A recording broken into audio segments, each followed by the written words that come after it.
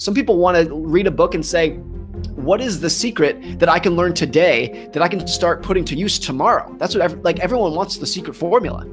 And when you hear that the formula is be patient and wait another half a century, people don't want to hear that. That's a hard thing. But that's maybe that's the point. All great things in life, like the most incredible things, there's a cost to them. There's a cost of admission. It should be really hard. And the fact that being patient for three quarters of a century is really hard is why it's so powerful and pays off so well. So I think that's one of the biggest things we can learn from Buffett.